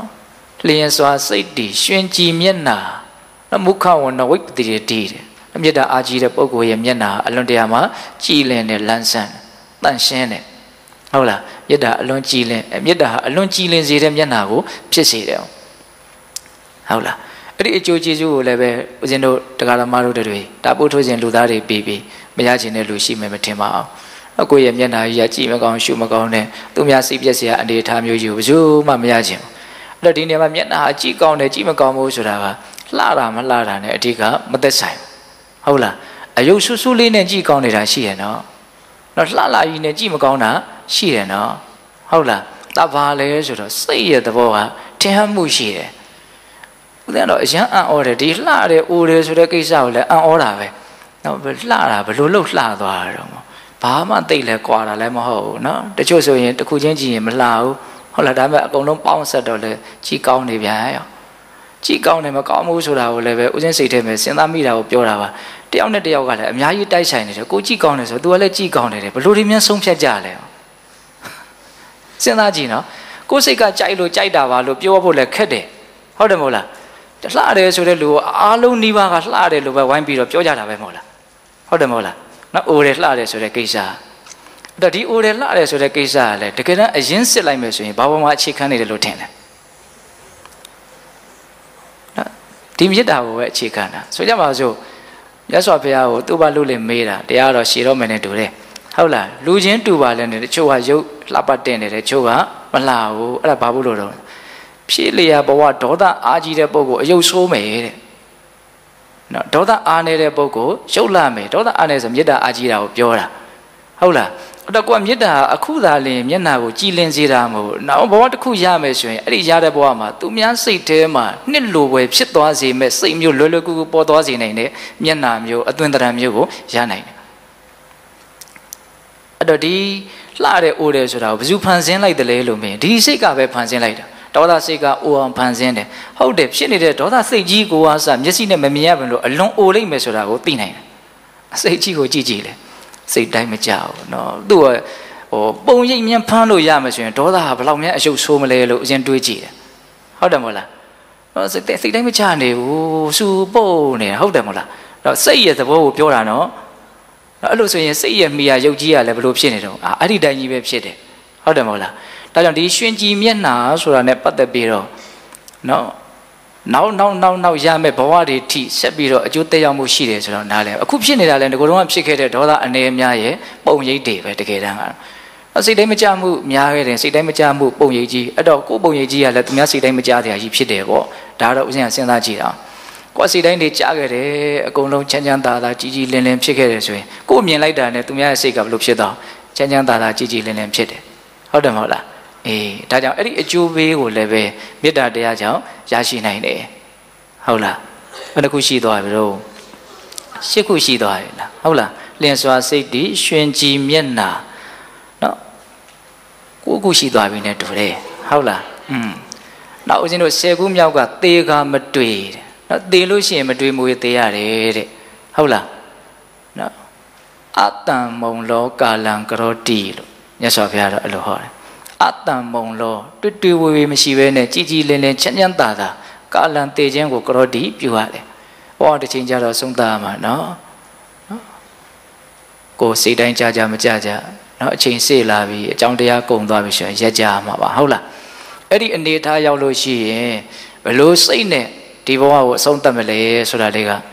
နောက်ဒုတိယရမယ့်ဘဝအတွက်အလွန်အရေးပါတဲ့မေခွန်းပဲဟုတ်တယ်မဟုတ်လားအဲ့ဒီအနေထားလေးကိုအခြေခံပြီးတော့နောက်ဘဝတစ်ခုထပ်ရမှာနော်ဒေဂာနီးစိတ်အနေထားလေးကိုအခြေခံပြီးတော့နောက်ဘဝတစ်ခုထပ်ရမှာကောင်းကောင်းဆိုတာအဲ့တော့ဒေဂာနီးမှာမတွေ့မဝေချမ်းချမ်းသာသာတည်နိုင်ဖို့အရင်အရေးကြီးတယ်ဆိုတာကိုပြောချင်တာပါအဲ့တော့မြစ်တအားကြီးတဲ့လူဟာဒေဂာနီးမှာချမ်းချမ်းသာသာတည်ရမယ်လို့ဒါမျိုးဆိုပြဟောတယ် အပြန်အားဖြင့်ဒေါသအားကြီးမယ်ဆိုရင်တော့ဒေဂာနီးမှာစင်စင်ရဲတည်ရတဲ့အကြောင်းရှိတယ်ဟုတ်တယ်ဒီကိစ္စမသေးခင်မှာထခနဲကြီးစိတ်တို့ထခနဲကြီးစိတ်တို့အလိုမကြတာဝဲအမြဲလေးကျင့်နေသလိုကြီးလုံနေကြည့်ပေါ့နော်အခုအလိုမကျတဲ့ကိစ္စကဘယ်လောက်ကြီးကျယ်လဲ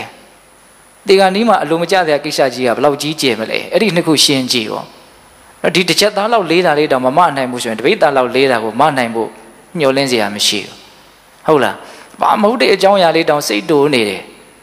နော်အလုံးကိုဆွန့်ရတော့မယ်အလုံးပျက်စီးတော့မယ်ဟာအယံကိုခက်ခက်နေနေတဲ့အဲ့ဒီအခြေအနေကြီးကအဲ့ဒီအချိန်မှာဒေါသကိုမဖြစ်အောင်လုပ်မလုပ်ဖဲနေမလားသူကတော့အခြေအနေကတော့ဒေါသဖြစ်အောင်ဖန်တီးတဲ့ဖန်တီးနေတဲ့အနေအထားမျိုးကြီးလို့ဦးစင်းထင်တယ်နော်နော်ဒီကနေ့အနေအထားဆိုတာကဒါအခြေနဲ့ဆရာကောင်းတဲ့ကြည်နူးဆရာကောင်းတဲ့ကိစ္စမဟုတ်တာတော့သိကြတယ်လေဟုတ်တယ်မဟုတ်လားအေးအဲ့တော့စဉ်းစားကြည့်တော့မသေးခင်မှာအမြဲတမ်းစိတ်တို့စိတ်တို့နေရင်သေကနေဆိုရင်သေချာပေါက်စိတ်တို့ဖို့အလားလား များတယ်ဆိုတာကိုဒါဦးစင်းလက်တွေ့စဉ်းစားကြည့်တာပါအဲ့လိုဆိုရင်သေကနေမှာကြံ့ကြံ့ထန်ထန်ပူပူလောင်လောင်သေရတော့မယ်ကြောက်ပြီးတော့သေတာမျိုးလည်းဖြစ်နိုင်တယ်စိတ်တိုင်းမကြပြီးတော့ကြံ့ကြံ့ထန်ထန်သေတာမျိုးလည်းဖြစ်နိုင်တယ်အဲ့လိုဆိုရင်မကောင်းတဲ့ဘဝကိုပဲရောက်သွားမှာဒါမှသေကနေမှာမတွေးမွေးသေဖို့လည်းအရင်အရေးပါတယ်အဲ့တော့နောက်ဆုံးအကျိုးကျေးဇူးအနေနဲ့သေကမတွေးလားလေဖြစ်မှာဟောကောင်းကောင်းသိရင်ကောင်းတဲ့ဘဝရောက်သွားတယ်ဆိုတဲ့သဘောပဲနော် ဗြဟ္မဘဝကိုတောင်ရောက်နိုင်တယ်လူအဖြစ်နတ်အဖြစ်ကိုတောင်ကြော်ပြီးတော့ဗြဟ္မအဖြစ်ကိုရောက်သွားနိုင်တယ်ဟုတ်လားဥတ္တရိအပတိဝိဇံတော်ဗြဟ္မလောကုဘကောဟောတိနော်ဟိုအထက်မဲ့ဖို့ကိုမရသေးဘူးဆိုရင်ဘဝသွားရအောင်ပဲဆက်ရအောင်ပဲဆိုရင်ဗြဟ္မပြည်ကိုရောက်လိမ့်မယ်လို့ပြောတာနော်အရဟတမညာအရဟတဖုန်ညာရထားမယ်ဆိုရင်သူဗြဟ္မပြည်သွားကြကြောင်းမရှိတော့ဘူးပေါ့ဟုတ်လားဒါနောက်ဆုံးဦးဇင်းတို့ရရှိမယ်အကျိုးကျေးဇူးဟုတ်ရဲ့လား အဲ့တော့အကျိုးကျေးဇူးဘယ်နှပါးရှိသွားတော့၁၇ပါးရှိသွားတယ်နော်အိမ်နိုးချမ်းသာကောင်းစွာအိမ်မက်ချစ်လျက်လိုနတ်စောင်းလက်နတ်များစိမိတာတို့ရှောင်ရှားကိုမှလင်းစွာစိတ်တီရွှင်ကြည်မျက်နှာသေးကမတွေ့လားလေမြမဆက်တက်ဖြာသည်မေတ္တာပွားမှုအကျိုးတွေဟုတ်လားတော့ဒီအကျိုးကျေးဇူးတွေကိုတရားဓမ္မတို့အချင်းတို့တွေကစဉ်းစားဆင်ခြင်ကြည့်မယ်ဆိုရင်မေတ္တာတရားရဲ့ပုံမှာအာကိုအာရာစိတ်ဒီနေ့အဖြစ်ယုံကြည်မှု ဒါတွေတိုးလာပြီးတော့မေတ္တာပွားများဖို့အတွက်ပို့ပြီးတော့ထက်သန်လာမယ်ပေါ့အဲဒါရှိမှရှေ့ဆက်သွားလို့ရမှာနော်ထက်သန်မှုရှိမှမေတ္တာပွားတယ်လို့ဦးမဟဲ့ဆိုတာလေးကဖြစ်လာမှာလုံးမလည်းဒီအကျိုးကျေးဇူးကရမှာတော့အစကနဥပါအရေးကြီးတာလဲဆိုတော့သူ့ရဲ့ပုံမှာယုံကြည်မှုရှိဖို့လိုတယ်အရှိဖို့လိုတယ်ယုံကြည်မှုရှိဖို့လဲအခုအဲ့ဒီအတွက်ဒါဘုံဘုံတို့အလုံးလုံးနေကြတာနော်ဒါဘုံဘုံကလည်းစကလုံးတွေကိုသုံးပြီးတော့ယုံကြည်မှု ထွက်လာအောင်ကြိုးစားတာပေတတော်ကလည်းနားကိုအသုံးပြုအတွေးကိုအသုံးပြုပြီးတော့ယုံကြည်မှုတွေထွက်လာအောင်ကြိုးစားတာဘာလို့ဖို့လို့အဲ့ဒီယုံကြည်မှုကဆက်ပြီးတော့အလုတ်လုတ်လို့ရအောင်လို့ဟုတ်တယ်မဟုတ်လားဆက်ပြီးတော့အလုတ်လုတ်မှဒီအလုတ်ရဲ့အကျိုးရလဒ်ကိုခံစားရမှာဟုတ်လားအဲ့တော့ဦးဇင်းတို့ဏီကုန်းချုပ်ပါလေးဆက်ပြီးတော့ပြောရင်တော့ဆိုတော့အဲ့ဒီမေတ္တာတရားပွားများတဲ့နေရာမှာနော်ဒါဟာသဘာဝတရားဆိုတဲ့အသိရှိဖို့လိုတယ် ပုဂ္ဂိုလ်တ attva ဆိုတဲ့အတိကိုကြော်လွန်သွားအောင်လည်းပဲကြိုးစားဖို့ရည်ရွယ်ချက်ရှိဖို့လိုတယ်။ဒါကြောင့်ဦးဇင်းတို့မေတ္တာတုတ်ထဲမှာဒိဋ္ဌိဉ္စအနုပကမ္မသီလဝါဒတနေနာတံပံတော်ကာမေတုဝိနေယကေရနာဟိဇာတောကပတေယပုဏ္ဏရေတိဟုတ်လားဒိဋ္ဌိဉ္စထင်ရှားဖြစ်ပေါ်နေတဲ့ဒီယုံ nant တဘာဝတရားတွေကိုဒါဟာငါပဲသူပဲပုဂ္ဂိုလ်တ attva ပဲလို့မှားယွင်းနေတဲ့တက္ကာယဒိဋ္ဌိကိုအနုပကမ္မမကတ်ရောက်မှု၍တယ်ဟောဒါလေးပါတယ်နော် သီလနဲ့ပြည့်စုံပြီးတော့အဲ့ဒီတက္ကာယဒိဋ္ဌိမကန့်ညီပဲနဲ့ဒီမေတ္တာကိုပွားများမယ်ဆိုလို့ရှိရင်နော်ကာမဘုံကိုတောင်တဆင့်ပြန်ပြီးတော့မလာတော့ဘူးတဲ့ဟုတ်လားဒိဋ္ဌိစာနုပကမသီလဝါဒတနေနာတမ္ပန်တော်ကာမေတုဝိနေယခေရနာဟိဇာတောကဗတေယပုဏ္ဏရိတိဟုတ်လားအမိဝမ်းကောင်းကိုတဖန်ပြန်ပြီးတော့အောင်းစရာမလိုတော့ဘူးလို့အဲ့ဒီလောက်ထိတောင်ပြောထားတာဟုတ်လားနောက်တစ်ချက်ကလည်းပဲ ဟိုမေတ္တာတရားထဲအကျိုးကြီးမားတဲ့နော်တတိပဋ္ဌာန်ဘာဝနာကိုပွားများခြင်းကြောင့်ရရှိမဲ့အနိစ္စတင်ညာဆိုတာရှိပါသေးတယ်။ဒါဦးဇင်းတို့ဝေလာမတုတ်တန်ထဲမှာမြတ်စွာဘုရားကကုသိုလ်ကောင်းမှုတွေရဲ့တန်ဖိုးအနိမ့်မြင့်ကိုနှိုင်းရှင်ပြတဲ့နေရာမှာနော်ဒါနကောင်းမှုမျိုးစုံတို့ထက်တရဏဂုံသုံးပါးဟာတာလွန်ပြီးတော့မြင့်မြတ်တယ်။တရဏဂုံသုံးပါးထက်၅ပါးသီလကတာလွန်ပြီးတော့မြင့်မြတ်တယ်။၅ပါးသီလထက်အခုပြောနေတဲ့မေတ္တာတရားကတာလွန်ပြီးတော့မြင့်မြတ်တယ်။အဲ့ဒီမေတ္တာတရားထက် ဒီဘဝဒီခန္ဓာမှာဖြစ်ပေါ်နေတဲ့ဘယ်ဘဝတဘာဝတရားမှာတည်မြဲမှုမရှိဘူးလို့မှန်မှန်ကန်ကန်သိတဲ့အိဋ္ဌသင်ညာကတာလွန်ပြီးတော့မြင့်မြတ်တယ်လို့ဟောထားတာရှိတယ်။အဲ့တော့အိဋ္ဌသင်ညာကိုသိဖို့မြင်ဖို့အတွက်တော့ရည်ရွယ်ချက်ကတော့ကြီးကြီးမားမားရှိရမယ်။အဲ့တော့ဒီမေတ္တာတရားကဘာအတွက်ပြောရတာတုံးဆိုတော့ချမ်းရံမှုလိုအပ်တယ်ဆိုတာကိုပြောတာ။ဟုတ်လားမနေ့တုန်းကပြောခဲ့တာကဗုဒ္ဓအနုတ္တိလိုအပ်တယ်နော်ဒါမလိုအပ်ဘူးလို့သွားမထင်နဲ့ဟုတ်လားလောက်ရမယ်ခါအားလျော်စွာဟုတ်လားခုမေတ္တာတရားကိုလည်းပဲ စူးစမ်းကြည့်ပေါ့နော်ဒီမေတ္တာတမာတိကိုပဲအခြေခံပြီးတော့ဝိပဿနာသွားမယ်ဆိုရင်သွားလို့ရတယ်ဟုတ်လားသူစိတ်ကြည်လင်တန်ရှင်းနေတော့ဒီမေတ္တာစိတ်ကိုပဲနော်အနေစာဒုက္ခအနတ္တရှုလို့ရတာပေါ့ဘာလို့မရမှာတော့သူ့ကိုပဲမှန်တိုင်းနားလည်အောင်လုပ်လို့ရတာပဲလေဟုတ်လားဒါကြောင့်ဦးဇင်းတို့လက်ဒီဆိုဘုရားကြီးရဲ့တပည့်နော်ဆယ်ကြီးတော်ဆရာတော်ဆိုတာရှိတယ်အဲ့တော့တခါဦးဇင်းတို့ပြင်မနာဘက်မှာချင်းချောင်းနန်းတက်ပွဲဆိုအဲ့မှာတရားဟောတော့အနှောင့်အယှက်တစ်ခုရှိတယ်လို့ဆိုကြီးကပြောတာတရားဟောရင်းနဲ့ အဲ့ဒါကြောင့်မို့လို့သူ့တပည့်ကိုနောက်ကနေမှန်ကူကွက်ကလေးလှုပ်ဆမ်းပါလို့ပြောတယ်တဲ့။အမှန်ကူကွက်ဆိုတာဘာမှဆိုမေတ္တာပို့ခိုင်းတာ။နောက်ကြည်ကြည်လင်လင်လေးဖြစ်အောင်လှုပ်ဆမ်းပါလို့ပြောတာအားတဲ့။အဲ့ဒါအဲ့ဒါဆရာတော်ကြီးကသူ့တပည့်ကအဲ့ဒီဆရာကြီးဆရာတော်ကမေတ္တာပို့တယ်။အဲ့နောက်နေ့ဘာခက်ခဲမှမရှိဘူးတဲ့အဆင်ပြေတယ်။အဲ့ဒါဆရာတော်ကြီးကမင်းမေတ္တာစွန့်လိုက်လားဘလို့လှုပ်တုံးလို့မေးတော့အဲ့ဒါသူကဒီတတ္တဝါတွေကိုမေတ္တာပို့တဲ့နေရာမှာဒီမျက်စိ နာနာလျာကိုစိတ်ဒီဒေါရ6ပါးအကြီး6ပါးကိုသူမြင်အောင်လုပ်ပြီးတော့တော့ကောင်းကောင်းမြင်နိုင်ကြပါသေးကောင်းကောင်းကြားနိုင်ကြပါသေးဘာဆင်းရဲမှမဖြစ်ပါစေနဲ့ပေါ့နော်စိတ်ဆင်းရဲလေးလည်းဘာမှမဖြစ်ပါစေနဲ့ကိုယ်ဆင်းရဲလည်းဘာမှမဖြစ်ပါစေနဲ့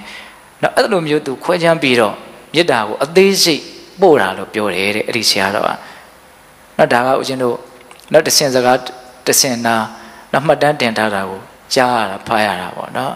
အဲ့တော့ပြောရင်တာက မေတ္တာကဒီလေးနေတဲ့ဒီဝိပဿနာတရားတွေကိုဆက်ပြီးတော့သွားဖို့အတွက်เนาะအများကြီးလွယ်ကူတဲ့တနည်းအားဖြင့်เนาะဝိပဿနာဘာဝနာကိုပွားများဖို့အတွက်အများကြီးခရီးရောက်ပြီးသားလုပ်ငန်းတစ်ခုဖြစ်တယ်ဆိုတာကိုနားလည်ဖို့ဒါကိုပြောရင်တာဟုတ်လားအများကြီးအရှုပ်အထွေးတွေအများကြီးနည်းသွားပြီဆိုဟိုဘက်လှုပ်ရှားရှိတာလေးဆက်ပြီးတော့လှုပ်သွားဖို့လွယ်ကူတယ်ဆိုတာလေးကိုပြောပြတာဟုတ်လားဒါကြောင့်မေတ္တာကိုကိုထူထောင်ကြည့်လိုက်စိတ်ထဲမှာဘလို့ဖြစ်လာတော့ နော်ဒါကိုစိတ်ဖြစ်နေတဲ့ခံစားချက်ကိုလည်းမသိနိုင်ဘူးလားသိနိုင်တယ်သူ့ရဲ့အနေထားကတော့နော်အယမ်းချမ်းသာမယ်ဆိုတာကတော့အလွန်ထင်ရှားတယ်ဟုတ်ဟုတ်လားအမြစ်တာကြောင့်ဖြစ်တဲ့ချမ်းသာမှုဆိုတာကဟောတချို့ကိစ္စတွေကစကလုံးနဲ့ပြောလို့မရဘူးနော်ဒါကြောင့်ကိုယ်တိုင်ဒီလေးနှစ်တဲ့ကိစ္စတွေကိုအတွေ့အကြုံရှိအောင်ဟဲ့ဆိုတဲ့ထက်သန်တဲ့စိတ်နဲ့လုပ်ကြည့်ဖို့ပဲလိုတယ်ပေါ့ဟုတ်လားဒါလေးကဏီကုံချုပ်ဘုံဘုံတို့ပြောတာပါနော် တော့ဒီမေတ္တာတရားကိုပွားများရင်းနဲ့ပဲဖြစ်ပေါ်နေတဲ့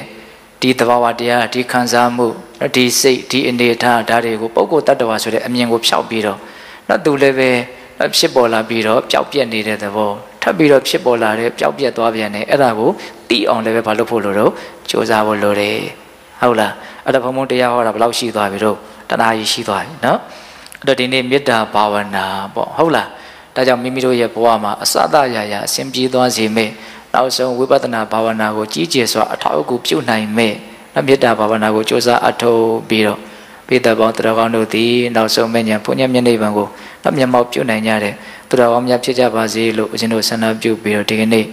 အလုံးသောပိဿပေါင်းတရားကောင်းတို့ပြုလို့အထောက်ကြရသောဒါနသီလတမာတိပညာကုသိုလ်ကောင်းမှုအစွတ်တို့ရဲ့အစွမ်းတတ္တိကြောင့်ဘုရားတပည့်တော်တို့သည်မဉ္ဇဉ်ဘုညမျက်နှိဗ္ဗာန်ကိုလျင်မြန်ထုတ်ချောက်မျက်မှောက်ပြုပါရစေကုန်သောဟု ပတနာအောင်စုပြုကြကုန်ရာတတိဝါတုတဗ္ဗမင်္ဂလာရကံတုတဗ္ဗဒေဝတာတဗ္ဗဗုဒ္ဓနုဝဝေနတရာဒုခိဝန္တုတိဘဝတုတဗ္ဗမင်္ဂလာရကံတုတဗ္ဗဒေဝတာတဗ္ဗဓမ္မနုဝဝေနတရာဒုခိဝန္တုတိဘဝတုတဗ္ဗမင်္ဂလာရကံတုတဗ္ဗဒေဝတာတဗ္ဗတံဃာနုဝဝေနတရာဒုခိဝန္တုတိဒီတုမကတိတရားနာပိသပေါင်းတော်ကောင်းတို့စာတာအလုံးသောတတ္တဝအနန္တတို့အား သာဗမင်္ဂလလောကီလောကုတ္တရာကောင်းဆိုသမျှမင်္ဂလာဝဝတိဘဝတို့ကောင်းစွာမသိဖြစ်တော်မူကြပါစေတည်းသာဝတိဝတ္တမိမိတို့ခန္ဓာကိုယ်မှာစောင့်ကြနေကြကုန်သောနတ်မိမိတို့အိမ်မှာစောင့်ကြနေကြကုန်သောနတ်မိမိတို့သာသနာမိမိတို့ကဘာမှာစောင့်ကြစောင့်ကြနေကြကုန်သောနတ်မြတ်နဲ့ကောင်းတာပေါင်းတို့ကလည်းပဲရက္ခဏုကောင်းစွာမသွေဆောင်လျှောက်တော်မူနိုင်ကြပါစေတည်းသဗ္ဗဗုဒ္ဓနုဘဝေန ကင်းကဝါလူသေးစုမကပွင့်တော်မူကြတဲ့သုတရတာဘဘုရားရှင်ကိုတော်မြတ်တို့ရဲ့တကူတေဇောအာနုဘော်တော်တို့ကြောင့်၎င်းတဗ္ဗဓမ္မနုဘဝေနမေလီတံဖူလီတံနိဗ္ဗာန်တည်တည်ဆိုသောဆေရသောတရားတော်မြတ်တို့ရဲ့တကူတေဇောအာနုဘော်တော်တို့ကြောင့်၎င်းတဗ္ဗတံဃာနုဘဝေနမေဂထံလေးရောက်ပလတံလေးရောက်ဆိုသောရှေယောတော်ရိယတန်ခါရှင်မြတ်တို့နဲ့တကွာတိလကိုသမာဓိကိုပညာကိုတို့နဲ့ပြည့်စုံတော်မူကြတဲ့သမုဒိတံခါ အရှင်ကောင်းရှင်မြတ်ပေါင်းတို့ရဲ့တကုတေဇောအာနုဘောတော်တို့ရောက်၎င်းတရားနေရောညပါဘေကမဆိုင်ချိန်ရှိတိုင်းချိန်ရှိတိုင်းဒုက္ခကိုစိတ်နှပြချမ်းမာချမ်းသာခြင်းရှိကြကုန်သည်ဘဝတို့ကောင်းစွာမသွေဖြစ်တော်မူကြပါစေတည်း